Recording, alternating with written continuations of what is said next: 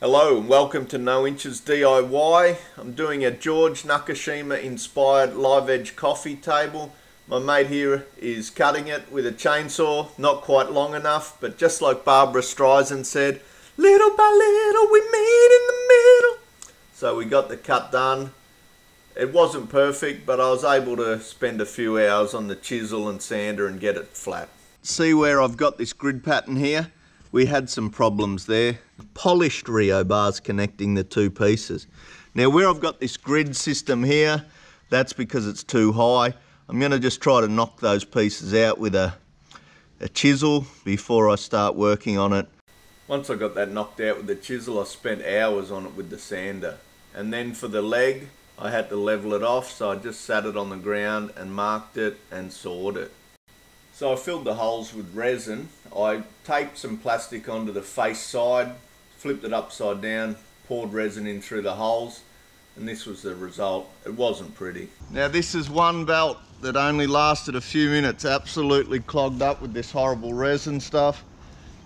I'll take that out. I'll use my old belts on it because it's going to wreck belts, I've since learnt.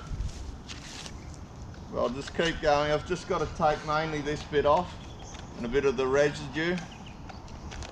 And I'm going to stay fully masked up when I do this nasty stuff. There was a lot of sanding in this project, hours and hours. Cutting down all that resin, nasty stuff. And then getting the final finish on it, that was also hours on the sander. So I'm just going to give you this amount.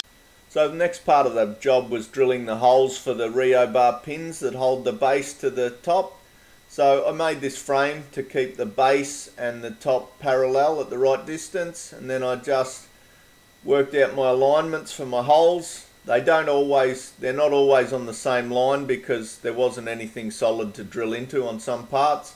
But I got it done. Then the next bit was just measuring my rebar lengths, cutting a thread on one end of them and put and welding a bolt thread onto the other end. Okay, so I attempted to cut a thread with a grinder on one end, so next time I'll just be buying coach bolts and cutting their threads off and welding them on.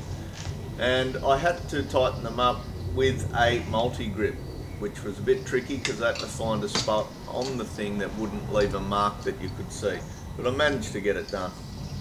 Alright, here we are. It's the last day of the George Nakashima inspired coffee table. I've resurfaced this top twice and finally I've gone with this uh, Cabothane Clear. I, I tried it with varnish, I just didn't get the sheen that I wanted with the brush marks and everything, so I'm going for this. I've already given it one. I've given it a little rough up with some 2000 grit sandpaper and I'll go over it again.